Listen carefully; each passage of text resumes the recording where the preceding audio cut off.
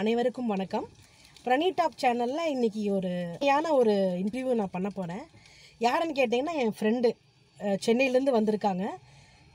டார்த்தி பேர். உங்கள் ஃபுல் பேர் சொல்லுங்கள் டார்த்தி. என் பேர் வந்து செபஸ்டினா. ஃபுல் நேம் சீரியஸாக பேசுவாங்க. ஆனால் வேறு லெவலில் பாடுவாங்க.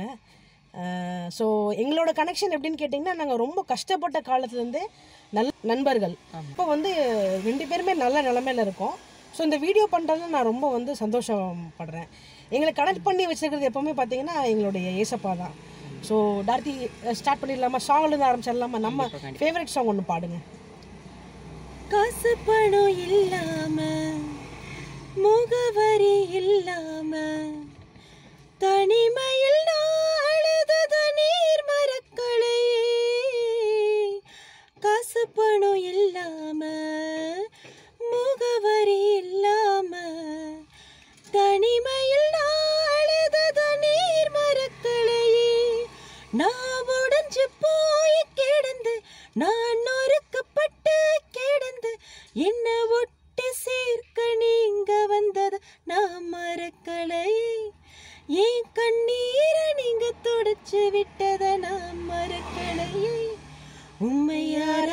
ஆராதிப்பேன் அழகே.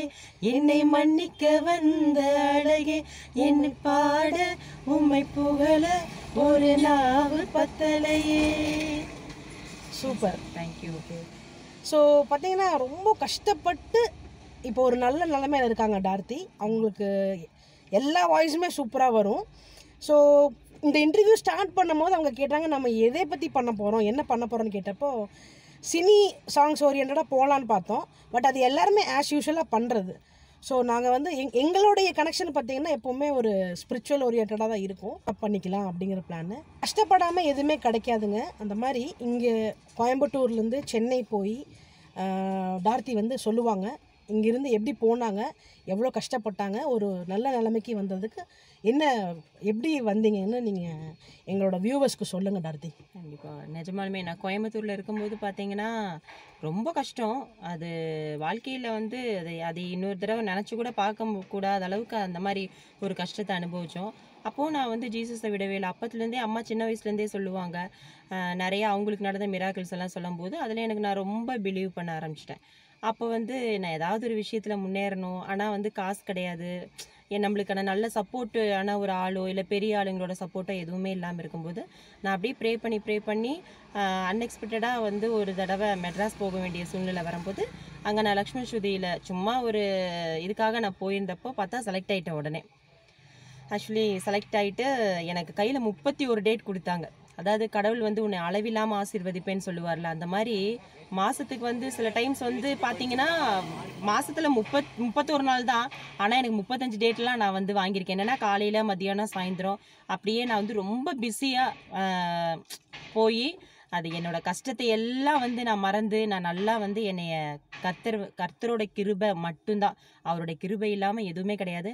அந் நான் கஷ்டப்பட்ட நிலமையிலையும் சரி சந்தோஷமாக இருக்கிற நிலமையிலும் இப்போவும் நான் கர்த்தரை விடவே இல்லை. அவரோட ஒ- ஒரே ஒரு கிருபையினால் மட்டும்தான் நான் இந்த அளவுக்கு வந்திருக்கிறேன்றதை நான் ஆணித்தரமாக சொல்லுவேன். சூப்பர் டார்த்தி சரி நீங்கள் இன்னொரு பாட்டு பாடுறீங்களா எங்கள் நேர்களுக்காக? கண்டிப்பாக பாடுறேன். பாடுங்க. எனக்கா இத்தனை கிருப என்மேல் அளவற்ற கிருப எனக்கா? இத்தனை கிருப என்மேல் அளவற்ற கிருப என்னை விட எத்தனை பேர் தகுதியாக இருந்தோம். என்ன மட்டும் கிருபை இங்கு உயர்த்தி வைத்ததே.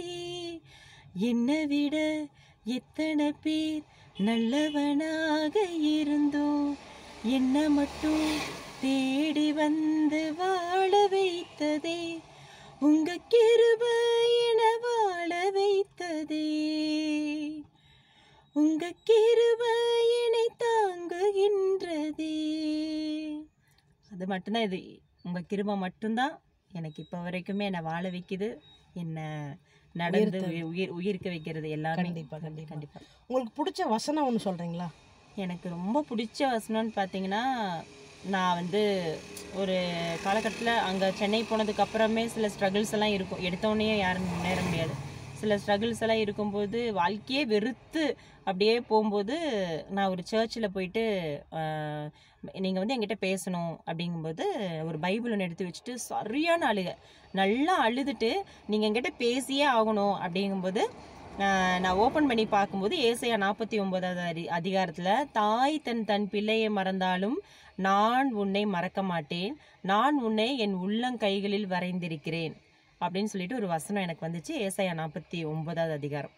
அது வந்து எனக்கு ரொம்ப ரொம்ப பிடிச்ச வசனம். இப்போவுமே நான் ரொம்ப வந்து அப்படியே டவுன் ஆகும்போதெல்லாம் அந்த வசனத்தை சொல்லி சொல்லி சொல்லி சொல்லி ஏன்னா அந்த வசனத்தில் வந்து நீ வந்து எப்படியோ இருந்த உன்னை நான் வந்து எல்லாருமே ராஜாக்கள் கண் உன்னை கண்டு எழு பணிந்து கொள்வார்கள் உன் காலின் தூளை நக்குவார்கள் அப்படின்ற அளவுக்கு அது அதை வந்து நான் ஒரு சின்ன கீழே அடிமட்டத்தில் இருந்து ஒரு ரொம்ப டாப் பொசிஷனில் கொண்டு போய் விடக்கூடிய அந்த வசனத்தை எனக்கு கொடுத்தாரு. அதுபடியே என்னை நடத்திட்டு இருக்கிறாரு. அதுக்கு நான் வந்து கர்த்தருக்கு கோடா கொடி ஸ்தோத்திரம் தான் சொல்ல முடியும். எவ்வளோ நன்றி சொன்னாலும் பத்தாது இல்லைங்களா? பத்தவே ஒரு ரொம்ப ஷார்ட் பீரியடில் தான் இந்த இன்டர்வியூ பண்ணியிருக்கோம். கண்டிப்பா. ஸோ லிமிட்டடாக ஒரு சில கொஷின்ஸ் மட்டும்தான் கேட்க முடிஞ்சுது. நல்ல பாட்டோட முடிச்சிடலாங்களா டார்த்தி? நல்ல பாட்டோட முடிக்கிறதுக்கு முன்னாடி நான் ஒரு சின்ன விஷயம் சொல்லிக்கிறேன் அப்போ வந்து பிரணீதாக்கா வந்து இப்போ என்னை வந்து கொஞ்சம் மரியாதையா பொங்க வாங்கன்னு சொல்லுவாங்க. அதெல்லாம் ஒன்றும் கிடையாது. நாங்கள் ரெண்டு பேரும் பயங்கரமான ஃப்ரெண்ட்ஸு அது வந்து இன்டர்வியூக்காக இல்லை சும்மா அது மரியாதை மித்த அப்படியெல்லாம் ஒன்றும் தேவையில்ல. பிரணீதாக்கா வந்து நான் ஜீசஸை பற்றி சொல்லும்போது பிரணீதாக்கா வந்து அதை அந்த அளவுக்கு எடுத்துக்க மாட்டாங்க. பட் நான் வந்து நினச்சே பார்க்க முடியாத ஒரு விஷயம் வந்து எனக்கு நடந்த ஒரு மிராக்களை விட பிரணீதாக்காக்கு நடந்தது தான் எனக்கு உண்மையாக ஆச்சரியமாக இருக்குது நாங்கள் வந்து எப்பயுமே பேசும்போது ஒரு சினிமா பற்றியோ இல்லைன்னா ஏதாவது ஒரு பொழுதுபோக்கு பற்றி தான் பேசிகிட்டு இருப்போம் இன்றைக்கி வந்து பிரணிதாக்கா வந்து ஜீசஸை பற்றியான ஒரு வீடியோ எடுக்கலாம் அப்படின்னு சொல்லி சொல்கிறது அவங்க வாயால் ஜீசஸை பற்றி நிறைய விஷயங்கள் எனக்கே தெரியாத விஷயங்களை பிரணிதாக்கா சொல்கிறாங்க அது வந்து எனக்கு ரொம்ப ரொம்ப சந்தோஷமாக இருக்குது. கர்த்தர் வந்து பெரியவர். அதை வந்து நான் என் வாழ்க்கையில் நான் உணர்வு பூர்வமாக பிரணிதாக்காவை பார்த்து தெரிஞ்சுக்கிட்டேன். வசனங்களாகட்டும் நம்ம ரொம்ப டவுன் ஆனால் கூட இப்போ கூட நான் ஏதாவது ஒரு விஷயத்தில் டவுன் ஆனால் ஃபஸ்ட்டு ஃபோன் அடிக்கிறது இவங்களுக்கு தான் பட் எனக்கே நம்ப முடியல இப்போ வரைக்குமே. அக்கா கிட்ட ஃபோன் பண்ணி கேட்கும்போது கருத்தரை பற்றி நிறைய விஷயங்கள் எனக்கு சொல்லியிருக்கிறாங்க.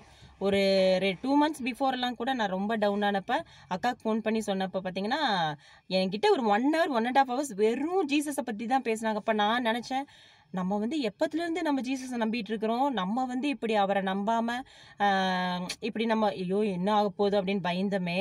இவங்க வந்து இப்போ ஷார்ட் பீரியடில் ஜீசஸை பற்றி தெரிஞ்சுட்டு இவ்வளோ அழகாக நம்மளுக்கு பேசுகிறாங்களே இவங்களே இவ்வளோ வந்து கான்ஃபிடென்ட்டாக இவ்வளோ ஒரு பிலீவ் பண்ணும்போது நம்ம இப்படி விட்டுட்டோமே. நான் ரொம்ப வேதனைப்பட்ட வெக்கப்பட்டேன் கூட. அதனால பிரணீதாக்காக நான் ரொம்ப தேங்க்ஸ் சொல்கிறேன் ஏன்னா ரொம்ப ரொம்ப இப்போ வந்து ரொம்ப ஜீசஸோடையே வாழ்கிறாங்க ஜீசஸ் கூடயே இருக்காங்க. எல்லாமே அவங்க ஜீசஸ் கூட தான் இருக்காங்க. அது ரொம்ப ரொம்ப சந்தோஷமா இருக்கு எனக்கு. இப்போ ஒரு பாட்டோட தேங்க்யூ டார்த்தி ஆயிரங்கள் பார்த்தாலும் குடிசனம் இருந்தாலும் இயேசுவை போல் அழகு இன்னும் கண்டுபிடிக்கலையே. ஆயிரங்கள் பார்த்தாலும் கோடிசனம் இருந்தாலும் இயேசுவை போல் அழகு இன்னும் கண்டுபிடிக்கலையே. நான் உங்களை மறந்த போதும். நீங்க என்ன மறக்கவில்லை? நான் கீழே விழுந்தும் நீங்க என்ன தூக்க பொறுமை? தூக்க மறுக்கலையே. உண்மை ஆராதிப்பேன் அழகே. என்னை மன்னிக்க வந்த அழகே. உம்மை பாட உம்மை புகழ ஒரு நாவு பத்தலையே. உம்மை ஆராதிப்பேன் அழகே. என்னை மன்னிக்க வந்த அழகே. உம்மை பாட உம்மை புகழ ஒரு நாவு பத்தலையே. வீடியோ முடிக்கிறதுக்கு முன்னாடி நான் ஹெனாவை இன்ட்ரடியூஸ் பண்ணிக்கிறேன். ஆக்சுவலாக ஹெனா என்ன சொன்னாங்கன்னா என்னை இன்டர்வியூ பண்ண சொன்னாங்க. நான் சொன்னேன் அம்மா வந்து சின்ன வயசுலேருந்து கஷ்டப்பட்டு வாழ்க்கையில் முன்னேறி ஓரளவுக்கு ஒரு ஒரு நல்ல ஸ்டேட்டஸில் இருக்காங்க. அவங்க கஷ்டத்தில் நான் வந்து கூட இருந்திருக்கேன். அதனால நீயும் அதே மாதிரி கஷ்டப்பட்டு டெவலப்பாக லைஃப்பில் பெரிய ஆளாயிக்கோ அதுக்கப்புறம் நான் உன்னை இன்டர்வியூ பண்ணுறேன்னு சொல்லியிருக்கேன். இருந்தாலும் பரவாயில்ல நீ உன்னை பற்றி இன்ட்ரடியூஸ் பண்ணிக்கோ. ஹாய் நான் வந்து ஹேனா நான் வந்து ஃபோர்த் ஸ்டாண்டர்ட் படிக்கிறேன். நீ ஒரு ஏசப்பா பாட்டு ஒன்று பாடிக்கும்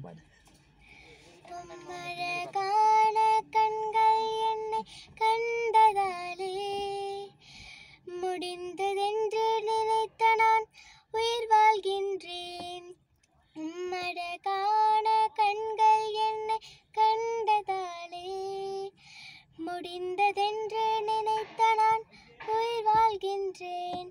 யாரும் அறியாத என்னை நன்றாயிருந்து தேடி வந்த சரி.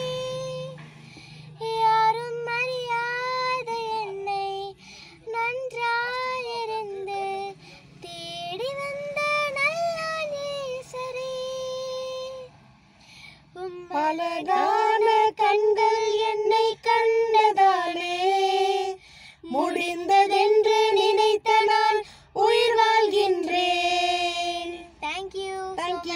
Thank you so much. Thank you so much. Bye-bye.